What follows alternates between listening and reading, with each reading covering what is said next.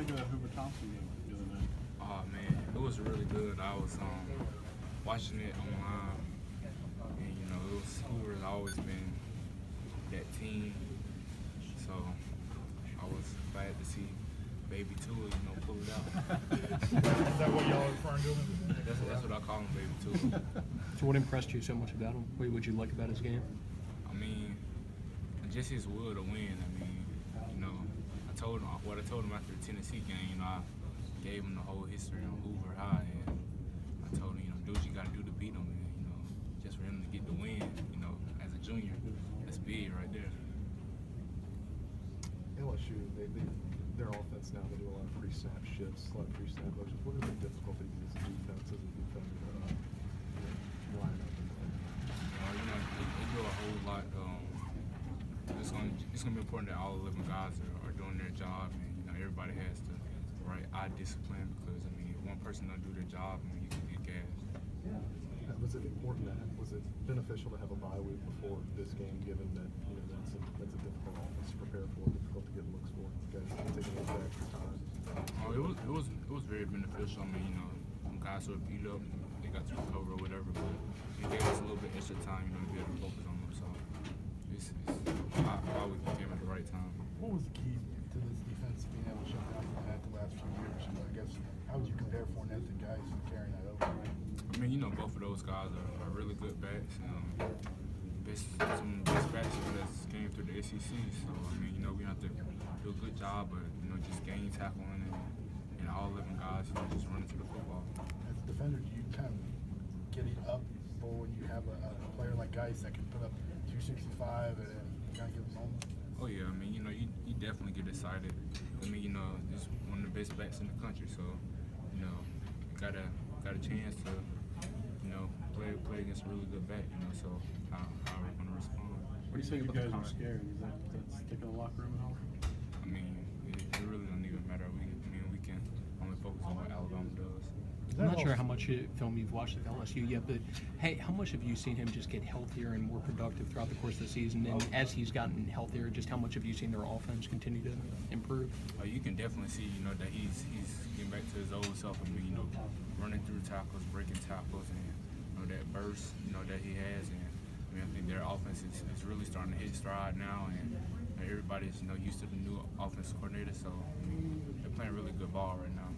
Guice is obviously pretty good, but they got another guy, Darrel Williams, that they can rotate. He can catches wild back, but we've seen. Oh yeah, he's he's definitely a load. I mean, you know, like you said, you know, he can.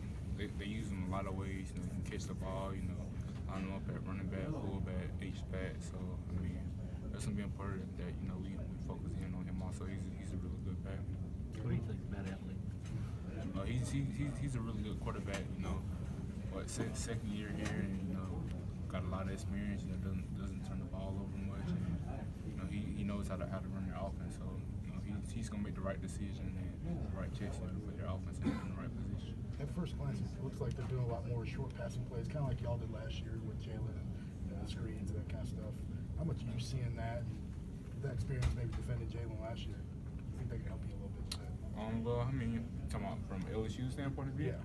Um, well, I mean, like I said, you know, Etling, you know, he's he's played a lot of a lot of college ball, and you know, he, they have a lot, lot of great weapons around him, especially in the backfield. So, you know, their their coaches are doing a really good job at, you know, playmakers on the ball. So, it's just gonna be important that everybody just do their job. What was that fourth quarter like last year, uh, coming down 0 0? Man, that was that was, it was it was amazing. I mean, you know, those are the kind of games you know that you what those are the games that you know you can't Alabama for. You know, zero zero. I mean, like this, like this, man, it's like a movie type game. You know, I felt like. I mean, I remember like sitting on the sideline. I was like, man, dang, it's really zero zero. You know, going to the fourth quarter. You know, we live for those kind of games. What was that huddle like at the between quarters? What was what was discussed? I mean, you know, it was just, you know, just we, you know, everybody's talking about, you know, how, how hard we work, you know, all during the summertime, and you know how, how, how much of a grind, you know, we know work like throughout the season. So you know, no nobody wanted to lose, and you know, we just we just found a way how to win. I know physically, football's a game, and it doesn't matter what time. But emotionally, you get a little more up for a primetime game, knowing that you've been sitting and thinking about it all day. The fans have been tailgating all day. Oh yeah, I mean, no doubt. I mean, you And whenever you play against LSU, I mean, I'm, I'm sure not the only person who can speak for this, but I mean, I've been watching these games a long time, and you know, One more here. um, I, I'm, I'm I'm taking this with a little, little bit harder, you know, knowing it's my last time, so I'm, I'm excited about.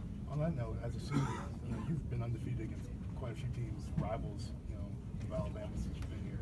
Is this, where's that, the LSU kind of streak rank in some of Tennessee and some of the others in your mind? Um, but LSU is definitely like one of our biggest rivalries. So, I mean, I'm gonna, I'm gonna do what I gotta do, you know, to make sure that I'm ready to play ball on Saturday. What's been, the, what's been the key on kickoff coverage for you guys? Everybody just doing their job.